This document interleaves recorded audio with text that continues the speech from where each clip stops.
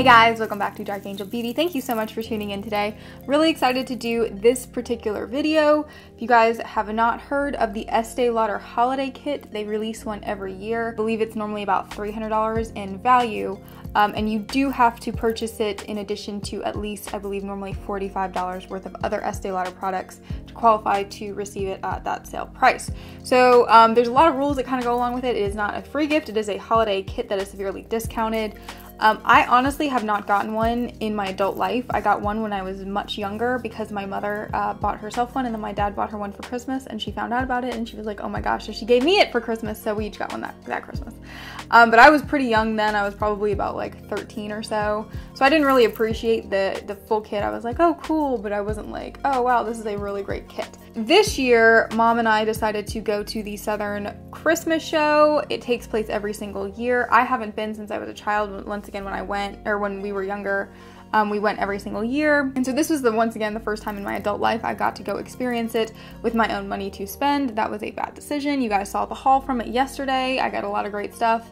And um, we're filming it on the Saturday. Tomorrow is the last day, and mom and I have talked about going back tomorrow so we may actually go back again. That being said, one of the big hot ticket items every year is Estee Lauder always has a storefront set up there and they have the holiday kit released um, out there ready for you to purchase. And normally if you buy it at the show, you do get bonus features as well, which of course I got some of those.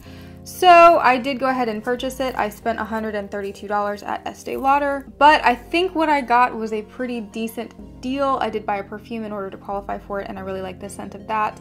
So today I figured I would give you guys an in-depth look at the kit itself, make a little eye look and lip look and uh, finish off the face look to show you whether or not it's really worth it. Now there will be some products that are really big ticket items in this particular kit that I will not be featuring just because of what they are.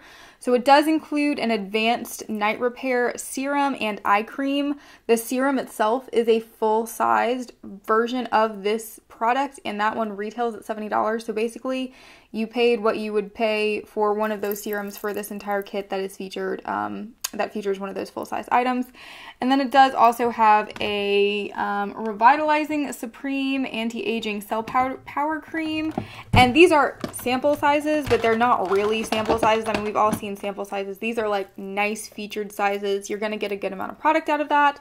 So that is really nice as well. And then it also comes with a gentle eye makeup remover in a full size. And you do get three lipsticks, two lip glosses, a mascara, and then two eyeshadow palettes. So it's a lot of stuff for $70, especially knowing how much Estee Lauder normally costs. But I did want to talk about the four products, the creams and things that I will not be featuring because I'm not going to be using them, obviously, for a makeup look. They do have two different color choices as well. They had a very neutral one that came with really bold lipsticks, and then they had a bright eyeshadow palette choice that came with more neutral lipsticks. I chose the bright eyeshadows. They do feature a lot of blue shade, which are not normally what I go for, but I felt like they were really, really pretty in terms of the colors that were available in them. Um, even the blue shades, I feel like there's a lot you can do with them for like under eye, um, like on your lower lash line and things like that. So I did go ahead and choose this one quite frankly, I felt like the neutral ones were a little bit boring, if that makes sense. Like, it wasn't, like, I love a good neutral palette, but it just seemed very mundane. So I did choose this palette, especially, or this collection, especially since it came with lip colors that I knew I would use more. So that being said, I am going to go ahead and use the blush to see, it's a little bit pinkier than what I would like for this particular dress, but I, uh, I want to give you guys the full effect of what comes in this palette, so we're going to use that. It's very neutral. Uh, maybe because I have a giant brush and I'm trying to get it in that like little, little pan. But it's very neutral. It's a very neutral blush shade. Uh, it's not a bad thing at all. It's a really good thing, I think, if you're trying to do just like a nice subdued little look or if you want to really feature like eyes and things like that and don't want to take away from it by having a heavy blush color. I think that is actually not a bad option. So that's a, that's a cheek color. Um, probably not one of my favorites if I'm being 100% honest. It's not one that I would normally go for. Um, I may actually wind up using that mainly as an eyeshadow because it's actually a pretty pink for like a nice blending shade for an eyeshadow look. And I feel like maybe it's just partially the pan is just really, really tiny and so getting a brush in there makes it a little bit more challenging. Um, and then they do, I think this is a highlighter, but let me make sure. They call it a sculpting brush, but it is like a very light, almost champagne color with like reflectiveness in it. So I'm going to try it as a highlighter and I'm going to hope for the best. And if it's terrible, then uh, I will adjust. Oh no, that's definitely, that's like a really muted highlighter actually. I like this. It reminds me of the Ofra, Ofra, however you say it. Uh, their like golden color that I think, oh, on the nose, that's a lot. Oh, oh, I done messed up it, Aaron. Let's fix that. So on the cheeks, I really actually like it. Uh, once again, it is a little bit more neutral than I normally go for with uh, the highlighters, but on the nose, it like really was like bam. So I'm not sure I would use it for an all over highlighter. You probably can get by with it as a cheek color, but um, my nose is gonna be a little orange today. oh well, it's fine. But yeah, so those are the face colors. They I, they I. Let's I. Yeah, moving on. Okay, so I do want to, I have a couple really pretty purple shades. The only downside I really feel to the colors that they are giving you in this palette is most of them are shimmer. I get it, it's holiday, I get it, everybody likes glitter and bling for Christmas and New Year's, I do too. That being said, I just don't like working primarily with glitter pigments. Um, it's not my thing. I think it's very hard to do effectively and to not make it look like you just like dipped your whole face in, um, I don't know, like a strip club bathtub. I don't know. I don't know. I just, very, very challenging. Something that I don't normally try and do. But I am going to do it today. I think looking at this palette, I believe I have four matte shades to work with. I believe, if I'm looking at that correctly, four that I would call pretty much all matte. Everything else has at least a slight reflectiveness to it, so it will be a challenge. But you know what? I didn't come here to quit, so here we go. Okay, so I'm going in with the darkest purple shade, and I'm just going to do on the outside corner, and just trying to get it up with my brush, I, I did feel like it was like a little challenging. This is a brush that I'm normally really good about like getting good color payoff with it, if that makes sense, especially for like a concentrated area. And I feel like it's taking me a little bit of like digging into that palette to get anything off of it the shade itself actually is pretty when I start seeing that payoff. It is actually a really pretty shade. It's not as glittery as I was worried it was going to be. It honestly looks like it's kind of just like a slight shimmer to it.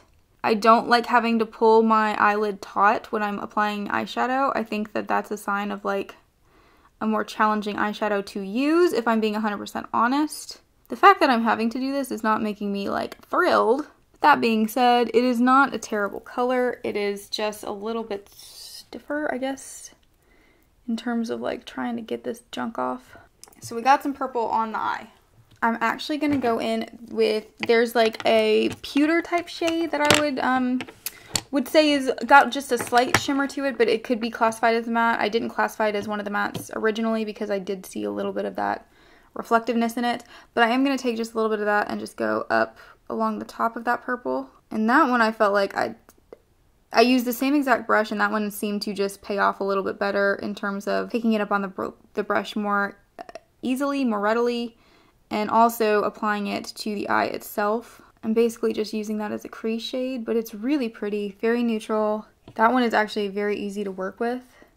And yeah, the payoff for that one I really, really like actually. So I'm pretty happy with that particular shade. I like that one a whole lot. Now I'm actually going to do my lower lash line. I'm going to go in, there's like a very pink, almost magenta, like purple shade that's very glittery. I'm going to go in with that for the lower lash line. And that one is paying off pretty well as well. So far, just that purple shade has been the only one that's given me any sort of trouble. And I'm not gonna lie, it scared me at first because I was like, oh gosh, the whole palette's gonna be like this and be like, what? So that's what we've got going on so far. I really, I think the colors actually complement each other very well. Um, I think that now that I've kind of gotten used to the palette itself, besides that one shade, we are actually uh, working pretty pretty well. So I'm gonna go in with a light purple now, and I'm gonna do like a blending color. This one is incredibly glittery. I'm seeing it immediately. So I'm just gonna put a very tiny bit up at the top, over off to the side. That is like super glittery. See, and that's the one, okay, so that's a, a, big downside in my opinion, is that I can't tell which ones are going to have a ton of glitter pigmentation and which ones are going to be just very subdued. And that is, um, in my opinion, that's a real big issue because I need to know if I'm going to be like, oh, I can work with this as a normal shade, or it could work kind of as a matte shade as well, or if it's going to be like, bam, that's glitter. So that was bam, that's glitter. And now I'm going to take a totally different shade and I'm going to blend it in because I don't like having a ton of glitter all the way up at the top of my eye. I use like a really nice matte pink shade to do this particular blending. I feel like that light purple made it look a little murky, so I'm not thrilled about that. But what are you gonna do?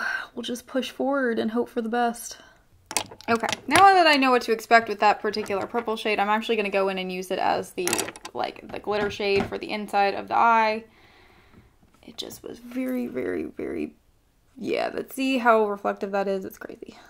And I'm going to try and actually pick up a little bit more of that dark purple shade and see if I can just highlight the back end. I guess low light would be the better word for it, the back end. I mean, it's darkening it. It just is, I'm going to go in with the pewter shade because I think that's just working better. So overall, right now, I'm not disliking it. Um, I think if I hadn't gotten it in a kit that I know was honestly well worth the value just because I do like their night creams. I really like their makeup remover. You get so much makeup with it as well. I think if I had paid for just the palette on its own or if I had paid more than $70 when I knew that that night repair cream was, you know, $70 in value itself, I probably would be a little bit more upset if I'm just being honest. I feel like the makeup was just kind of like, it's like the bonus gift, like it's free. You pay for it theoretically, but with what you're getting in the kit, it's really like, it's kind of like just an, an added bonus, a perk, if you will. So that being said, I feel like it is worth it. The makeup aspect of it is kind of like, it's okay. You know, like it's, it's all right. It's, it's there. So I went ahead and cleaned up my eyes just a little bit more. They're still a little murky up where I put that glitter shade at the top. I'm really regretting that decision now. If I could go back in time, I would, but I can't. So like Cher said, if I could turn back time, but I cannot. So alas. We're to move on to mascara. Um, so it came with the Sumptuous Extreme Lash Multiplying Mascara. I have not used it, but it does seem like it's coming off pretty thick and it's just kind of like a giant like Christmas tree looking wand. I don't think that was purposeful for the holiday kit. I think that's just what it looks like, but it's what it reminds me of. So we'll see how this one does. Ah, hit my cheek!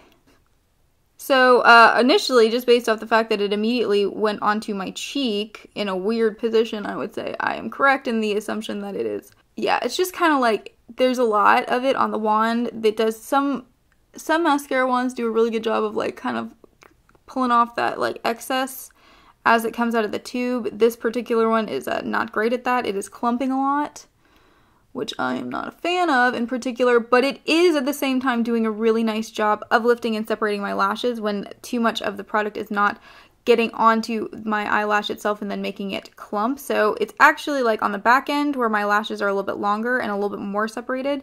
It is doing a really nice job of lifting and separating. They look very long. So you guys can see right here that little black dot. It has hit me. Unfortunate. It's not coming off. That's fine. It is very minimal. It's not a ton of discoloration. Um, so I can live with it. And actually the mascara does do a really nice job of making my lashes look very long and separated. So I can't say it's a bad mascara. I do just feel like there could be a little bit of a better design in terms of like the shape of the bristles and the wand, like the the shape of the the neck of the bottle where the wand comes out as well in order to kind of like pull off some of that excess. But overall, really not a bad mascara, a very um, decent mascara in terms of like what I like and what I look for. So, so yeah, so the eye look is done. Uh, we're going to move on to lip color. And I'm going to do, I don't normally do lip gloss, but I'll do one today just so we can see one. I did choose, this is probably the most neutral shade in this kit. It is like a nice kind of mauve like pink color. Then you've got a little bit more of like a bright pink. And then you've got a really dark, almost berry color which might look good, but today I'm just not feeling doing dark or bright eyes and dark lips, but that is like, it's like a very berry kind of color. So we've got those. And then for the lip glosses, you get a pink one and you get a white one. I think I'm going to go in with a white one because once again, I want to keep it a little bit um, more subdued. It, they are both very glittery, so that's what that looks like. I don't know if you guys can see it on the camera or not, but that's what it looks like. And I do have to say, Estee Lauder's lip lipsticks are some of my favorites. Um, I really like the texture of them. I feel like they apply really easily. Yeah, they, norm they don't normally give me a, a big problem, so. Alright, so that's what the lip color looks like. And then with the lip gloss, it smells so good. It smells like a sugar cookie. Yeah, I'm a fan of that. Alright, so that's the final look using the Estee Lauder holiday kit. I don't think they have a name for it. I think they just they just call it the holiday kit. So there we go. That is what we were able to create. It is a very nice look. It easily could be used for a holiday glam type thing. The colors in this particular eyeshadow palette, I did not, the, the two palettes, I did not feel like they were like extra Christmassy. The other ones I didn't feel like were extra Christmassy either. There was a lot of purples and blues in this particular one, and then there were a lot of just like browns and variations of browns and variations of browns in the other one. So, so yeah, I hope you guys liked the video. Overall, I would say this kit is probably worth the $70 you're going to wind up paying for it. You're going to have to pay whatever, the $45, whatever product you want to purchase to get the ability to purchase this on top of that. So it is going to be like a nice little chunk of money down. However, you get a lot of stuff with the kit itself. You get those night repair creams, which alone are probably, I mean, between the three creams you're getting, that's probably close to a $200 value alone. Then you get all the makeup on top of that, and you get the makeup remover, which I genuinely do like. And you get this really gorgeous briefcase looking carrying case. It fits a ton of stuff. Their cases, you guys know me with bags and sets and stuff. I will do anything to get a free bag. And this is a very nice one. So overall, I can't say it's not worth the money. It, I would use it for your discretion. If you are somebody who's very particular about your makeup, you may love it, you may hate it, if I'm just being honest. As somebody who has a ton of makeup, do I think it's one of the palettes that I'm going to reach for regularly? Probably not. Um, but I do think that I will wind up getting my money's worth out of the set as a total. So for me, yes, it was worth buying. I did just want to give you guys a quick look at it uh, before Black Friday starts, before people really start getting into the holiday buying, so that way you can see whether or not you think for you it would be worthwhile to purchase this holiday bundle, or if you're getting it for a gift, that way you can see it kind of being worked with as well. I hope you guys enjoyed the video. If you did, please give it a thumbs up. That definitely helps us a whole butt, but a whole butt, whole butt, whole bunch is what I was trying to say. Yeah. Anyway, if you haven't subscribed to the page, please do so hit the uh, subscribe button and the notification bell. That way you see every time we post videos. I have a ton of stuff worked up for you for the Christmas season. I'm very excited to jump into it. Nikki and I have already been filming for it.